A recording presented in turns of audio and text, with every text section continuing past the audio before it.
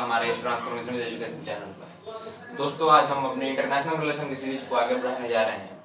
International relation के पिछली series में सॉरी पिछले वीडियोस में हमने फॉरेन पॉलिसी तक पढ़ा था। उसके बाद मैंने अलग अलग टाइप के रेट्रोस्पेक्टिव टैक्स और अफ़गानिस्तान सीरीज़ शुरू कर दी थी।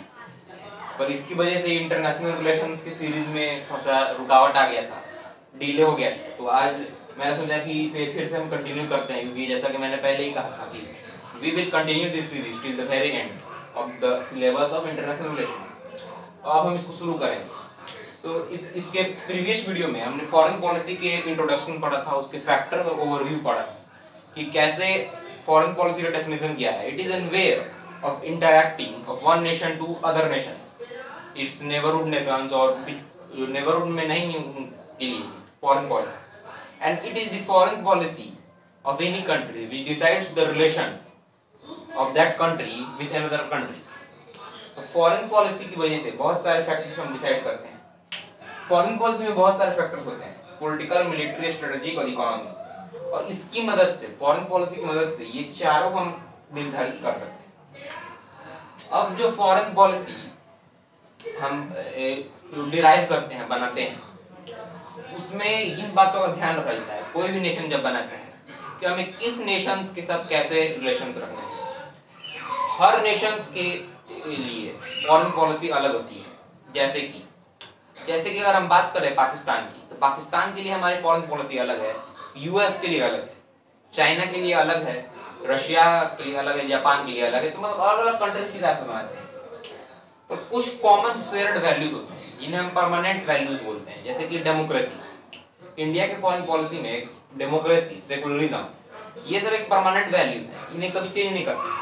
जो टेम्पररी वैल्यूज़ होते हैं, जो इमीडिएट बेनिफिट या फिर थोड़े से बेनिफिट्स के होते हैं, उनमें according to situation changes can happen तो जहाँ तक हम बात करते हैं फॉरेन पॉलिसी में तो फॉरेन पॉलिसी को में दो पॉलिसीज़ का नाम आता है। एक होता है आइडियलिज्म जिसके बारे में मैंने आपको पिछले वीडियो में बताया था। और एक होता है टिट फॉर टैट या फिर यथार्थवाद तो आइडियलिज्म में बेसिकली क्या होता है? आइडियलिज्म में जो, जैसे कि मैंने बताया था कि उदारवाद उदारवाद का मतलब होता है कि वो ज़्यादा हार्ड पावर की तरफ़ प्रेस नहीं करते हैं। मिलिट्री एक्शंस की तरफ़ ज़्यादा वो प्रेस नहीं करते हैं। Diplomatic actions with dialogue peace पे ज़्यादा फोकस होता है। जैसे इंडिया पहले एक उदारवाद देश था, अब इंडिया बैलेंस रखता है। आइडियलिज्म में अब टिट फॉर टैट पॉलिसी जैसे पहले जो जवाहरलाल नेहरू जी पर जो, हमारे देश के प्रथम प्रधानमंत्री थे, जो first prime minister of India उन पर ये आरोप बार बार लगाए जाते हैं। बहुत सारे चीज़ जैसे कश्मीर का मुद्दा यूएन में क्यों ले गए? क्वेश्चन है। कश्मीर का मुद्दा वो यूएन में क्यों ले गए? फिर उसके बाद उन्होंने 1962 में चाइना में जब चाइना अरुणाचल प्रदेश से पीछे हट चुका था वॉर एंड होने के बाद, पर अक्साई चीन से नहीं हटा था, और हमारे पास फॉरेन कंट्रीज़ के यूएसए के मदद आ चुकी थी मिलिट्री की। तब वो उन्होंने फिर चाइना के युद्ध विराम को मान क्यों लिया और उस पर अटैक क्यों नहीं किया? बहुत सारे आर्टिकल 370 उन्होंने शेख अब्दुल्ला के समझौता क्यों किया और क्यों उन्होंने दिया? तो बहुत सारी उदारवादी उनके डिसीजंस हैं जो क्वेश्चंस में आते हैं, कटघरे में उनको खड़ा किया जाता पर उस समय के सिनेरियो को भी देखना ज़रूरी है, क्योंकि क्रिटिसाइज भी आप कर सकते हैं, पर उस सिनेरियो भी देखना ज़रूरी है, क्योंकि उस समय इंडिया न्यूली इंडिपेंडेंट कंट्री तो हो सकता है उनके मन में रहा हो और सही भी रहा हो कि इस समय हमें बड़े बड़े शक्तियों से, महाशक्तियों से पंगा नहीं लेना चाहिए, नहीं लड़ना चाहिए। क्योंकि अभी अभी हम सोवरेन कंट्री हुए थे और हमें विकास करना है इकोनॉमिक डेवलपमेंट करना है और ऐसे विवाद से रह के तो डेवलपमेंट नहीं कर पाएँगे। उनका विचार रहा होगा।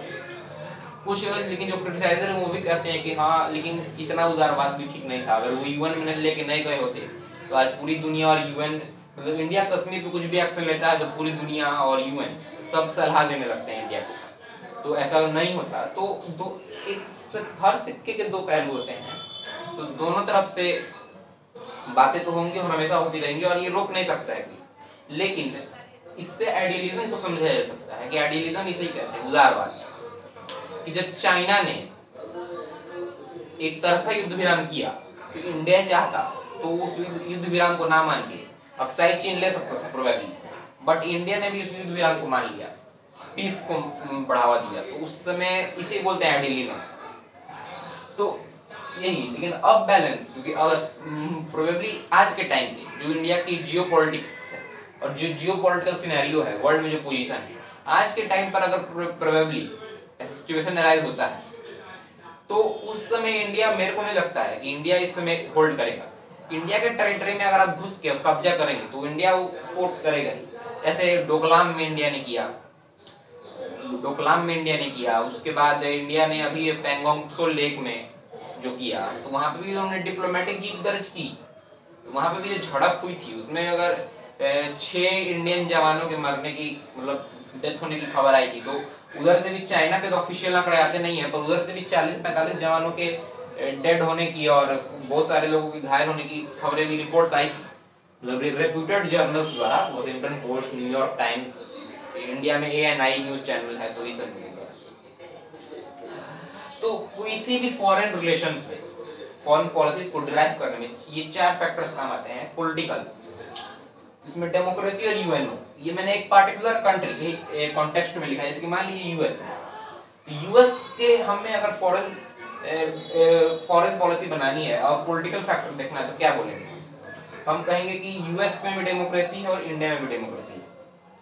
दोनों में डेमोक्रेसी है।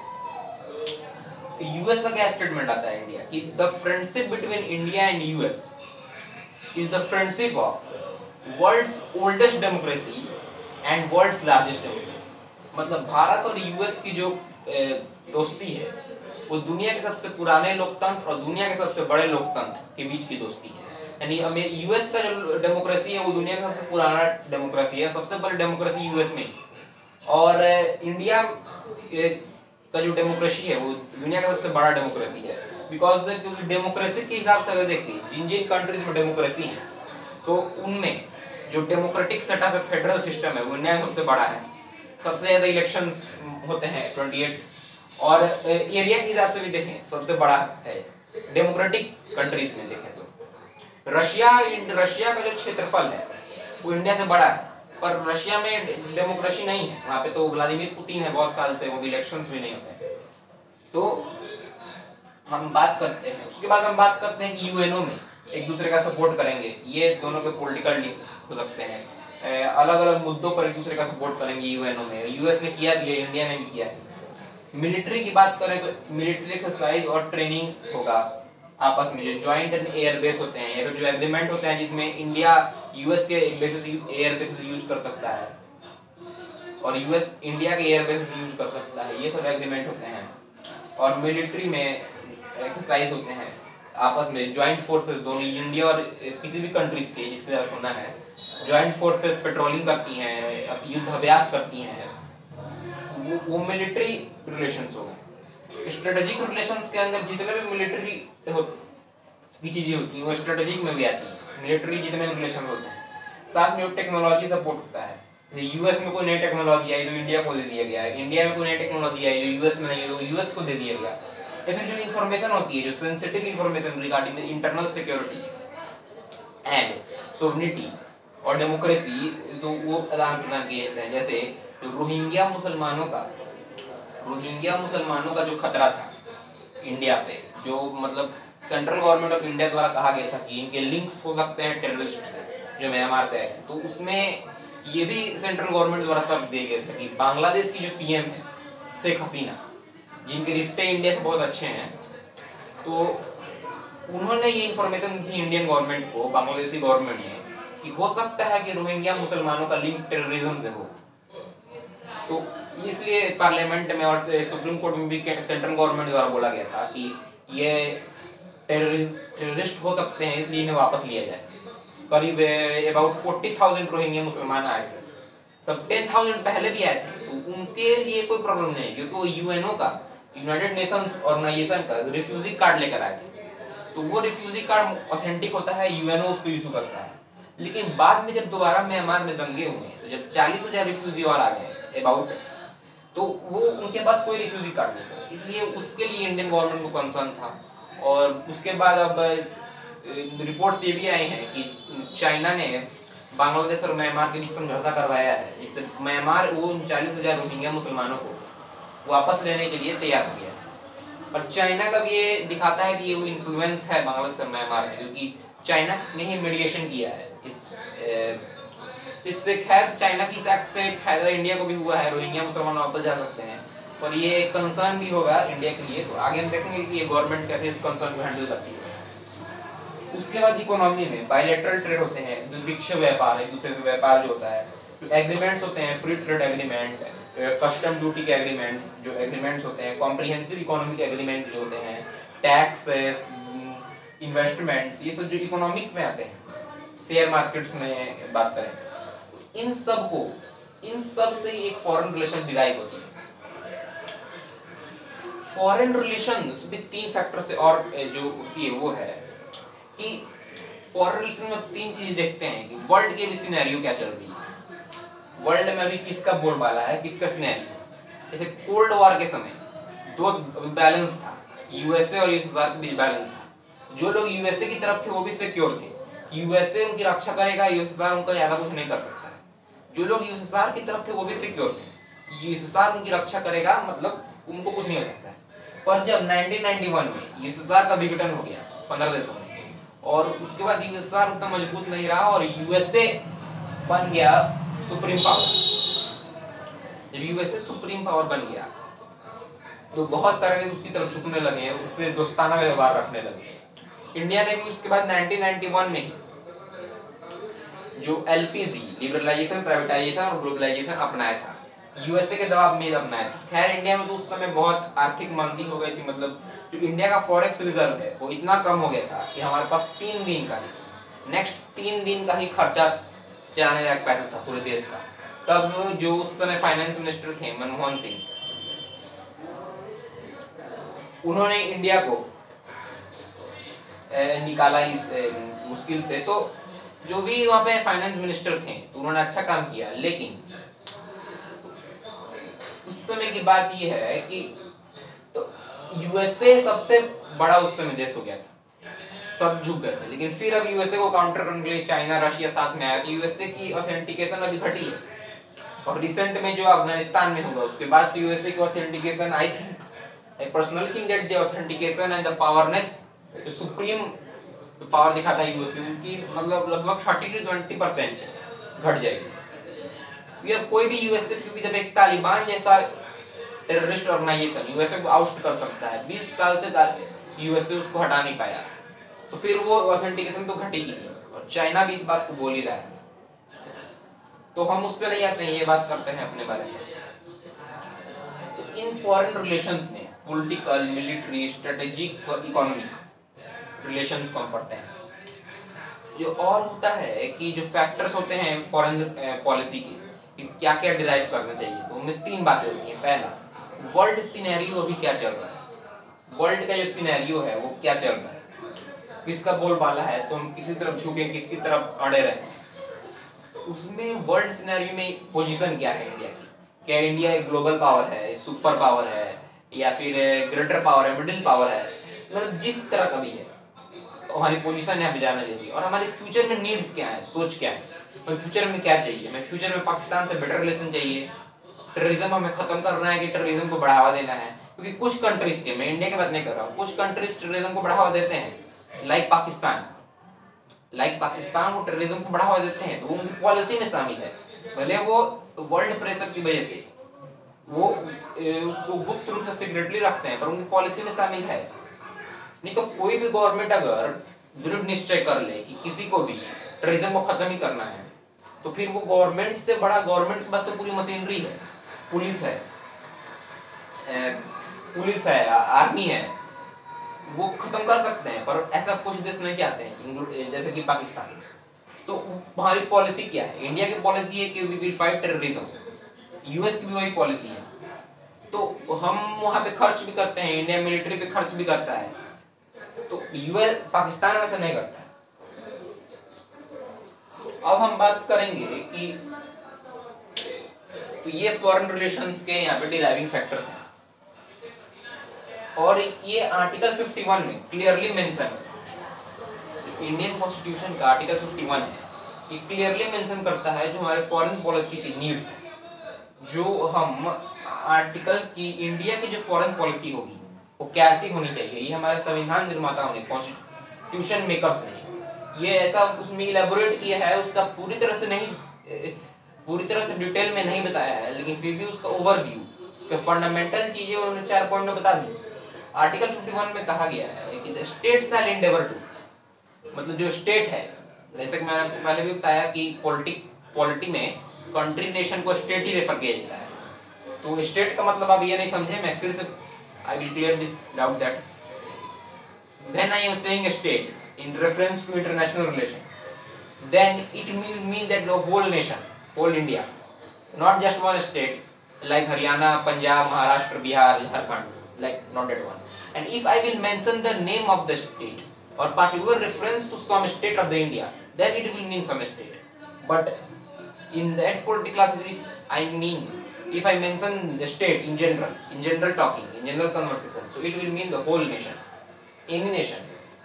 The states are endeavor to, मतलब कोई भी राष्ट्र के कर्तव्य है endeavor to कि to promote international peace and security उसको international peace and security करनी है और जो भी उनमें दिया हुआ है जो गाइडिंग प्रिंसिपल्स हैं हमारे कॉन्स्टिट्यूशन के guiding principles of the constitution कि to maintain better relation with all the countries who want to have a better relation with us तो ये क्लियर कट शब्दों में कहा गया आर्टिकल 51 में, आप उसको रेफर कर सकते हैं। तो ये बता दिया गया आर्टिकल 51 से क्या क्या ज़रूरी है इंडिया के। लिए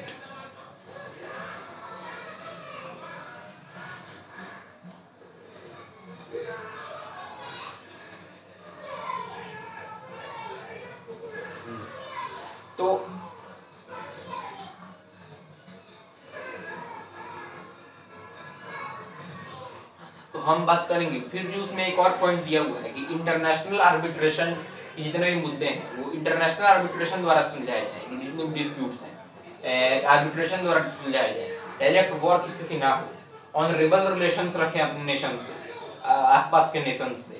और जितने भी ट्रिटी हुए हैं इंटरनेशनल ट्रीटी ऑब्लिगेशंस जो भी वर्ल्ड लेवल पे सहमतियाँ बनी है, आम सहमति बनी है, जिस पर इंडिया ने भी सहमति जताई है तो उसको हम फॉलो करें, उसे हम तोड़ने की कोशिश ना करें।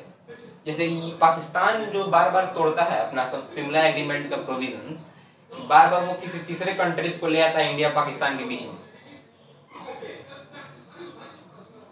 उस बात को लेकर प्रॉब्लम होती है इंडिया को। इसलिए इंडिया बार बार मेडिएशन को नकारता है कि इंडिया पाकिस्तान का बाइलेटरल मुद्दा है और वो बाइलेटरल रहना चाहिए। इधर, कोई और तीसरा देश मेडिएशन नहीं करना चाहिए। इवन यूएस उसमें मेडिएशन नहीं करना चाहिए। अब हम बात करते हैं ये फॉरेन रिलेशंस की बात हो गई फॉरेन रिलेशंस में और भी जितने भी फैक्टर्स होते हैं। जैसे किसी भी देश, जैसे कि मैं बात करूँ टर्की की।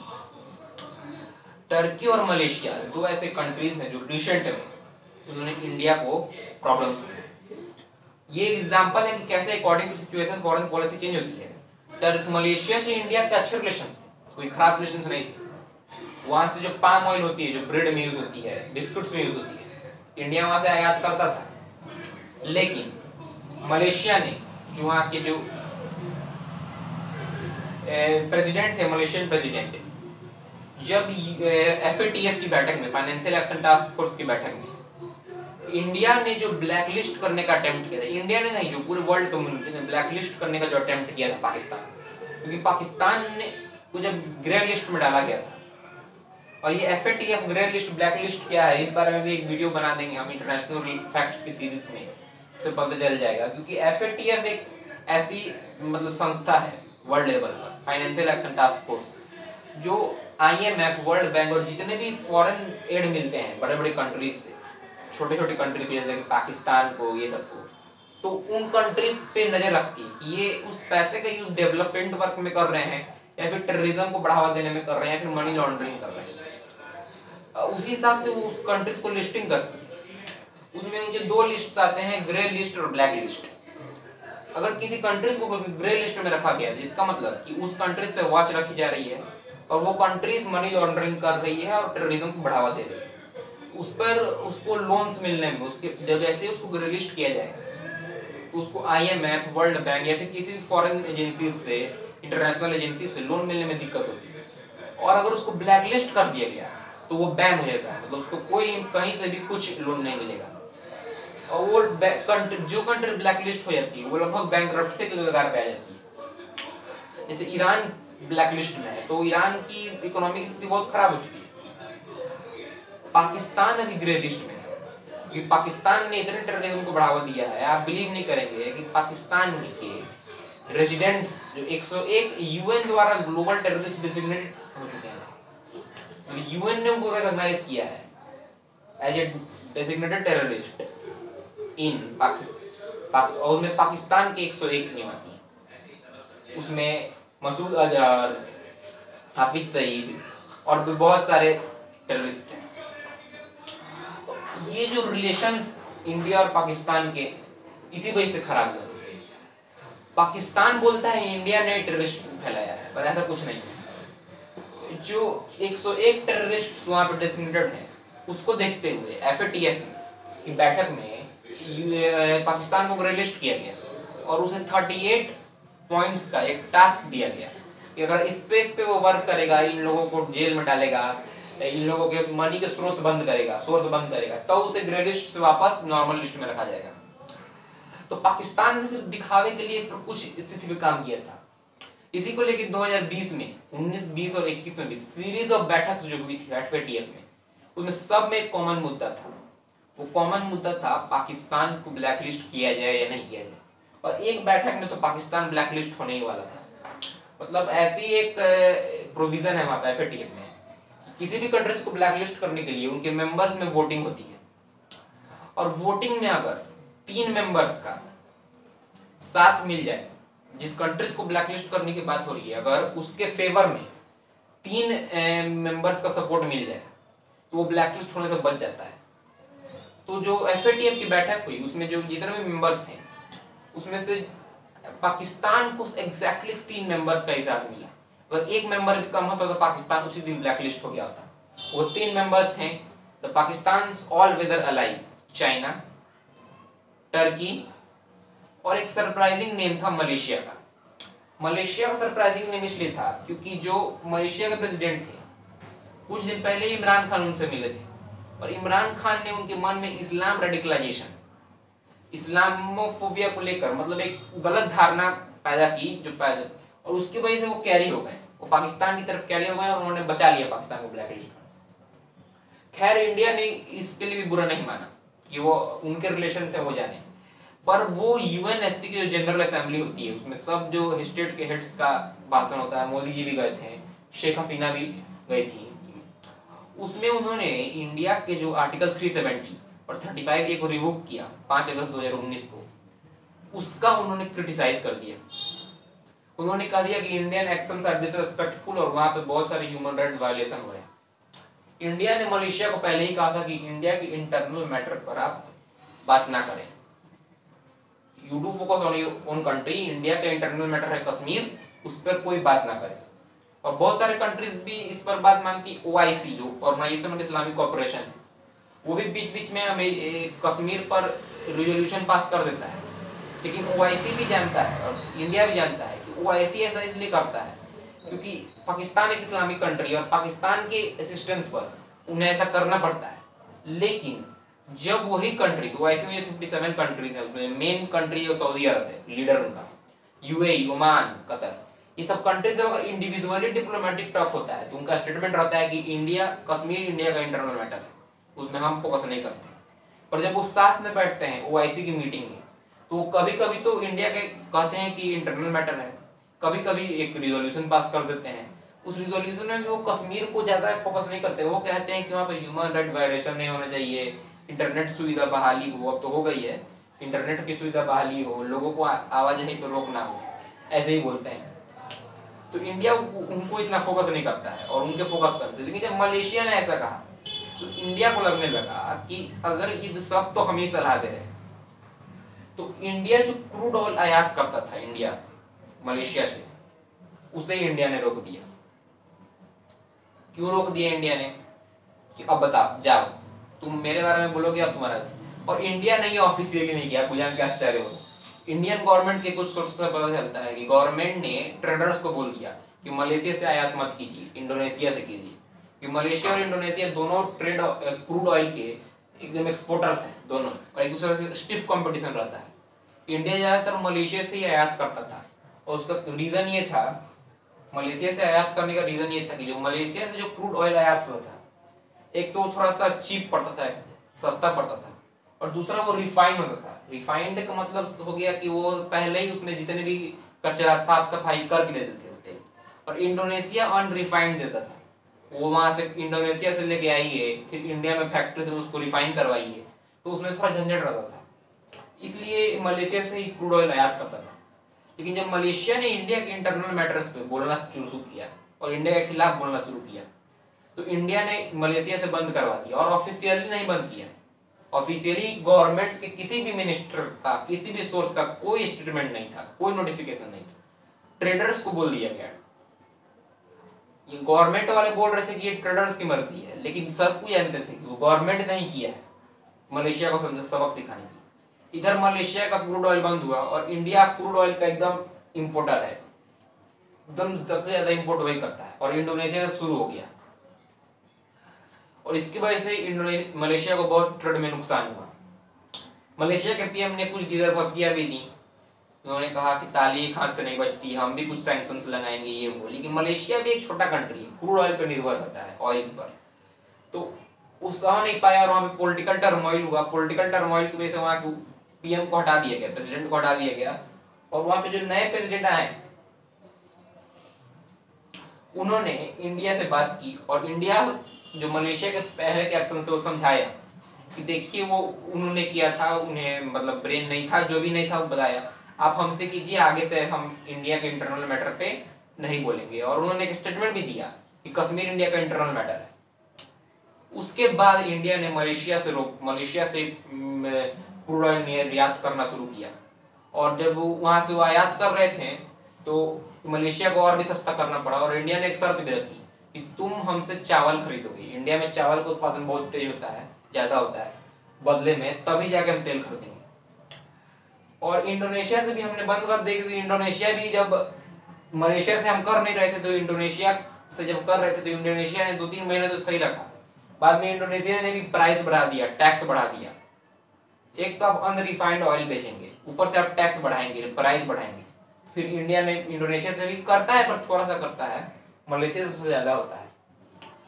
तो ये एक एग्ज़ाम्पल था कि इंडिया की जो पावर है सुप्रीम पावर की पोजीशन में जैसा कि बीबीसी की रिपोर्ट में कहा गया था, जैसा कि मैंने पहले भी बताया आपको कि India can become potential super power in 2030 if it can utilise its youth and the two major problems of youth and terrorism तो इंडिया के सुप्रीम पावर के एग्जांपल्स हैं। तो इन एग्जांपल्स हम कैसे फोकस करेंगे और कैसे क्या करेंगे फॉरेन पॉलिसी में? हम बात करेंगे नेक्स्ट वीडियो में। फिर नेक्स्ट वीडियो में नेहरू पीरियड के बारे में बात करेंगे। वॉर ऑफ़ 1947 के बारे में बात करेंगे। उस बात उस जब वॉर ऑफ़ 1947 हम बात करेंगे तो उसमें हम बात करेंगे कि कैसे इंडिया ने 1947 में कश्मीर वॉर हुआ। इंडिया में बेसिकली पाँच प्राइम मिनिस्टर ऐसे हुए हैं जिन्होंने फॉरेन रिलेशंस को बदल के रख दिया। एक से एक टर्म आए हैं उस पीरियड में। उन पाँचों पीएम्स में से सबसे पहले हैं इंडिया के first prime minister Jawaharlal Nehru. उसके बाद उनके सेकेंड प्राइम मिनिस्टर थे इंडिया के लाल बहादुर शास्त्री। उसके बाद आती है इंदिरा गांधी। ये तीन लगातार लाइन से आ गए। उसके बाद हम बात करेंगे अटल बिहारी वाजपेयी वाजपेयी जी के पीरियड में 1999 में बीजेपी और फिर करण मोदी जी, यानी तीन कांग्रेस के हैं, दो बीजेपी के बेसिकली इन पाँच प्राइम मिनिस्टर्स के एरा में हम बात करेंगे कि फॉरेन पॉलिसी को कैसे चेंज किया गया क्या क्या उनमें किया है। सबसे पहले हम नेहरू पीरियड शुरू करेंगे। नेहरू पीरियड में, नेहरू जी के पीरियड में दो मेजर वॉर हुए हैं। एक इंडिपेंडेंस के समय कश्मीर वॉर 1947 और इंडो चाइना वॉर जो 1962 में इंडिया और चाइना के बीच में हुआ। इन वॉर्स के बारे में भी चर्चा करेंगे कि नेहरू जी की पॉलिसीज़ में कहाँ कमियाँ थी, कहाँ उनकी उपलब्धियाँ थी, कहाँ उनकी कमियाँ थी, क्यों उन्हें ज़्यादा उदारवादी कहा जाता है। सब हम नेक्स्ट वीडियो में बात करेंगे इंटरनेशनल रिलेशन की। और जो अफ़गानिस्तान सीरीज़ वाली वीडियो है, उस पर मैंने पहला वीडियो बनाया है, कुछ लोग सोच रहे होंगे कि मैं आगे क्यों नहीं बना रहा हूँ तो उस पर भी हम बात करेंगे कि अफ़गानिस्तान एक बहुत बड़ा टॉपिक हो चुका है। सोवियत वॉर से लेके ओसामा बिन लादेन का W T C nine eleven का हमला, उसके बाद हम US invasion of Afghanistan twenty years of US उस ट्वेंटी ईयर्स में उन्होंने क्या किया किया कैसे किया?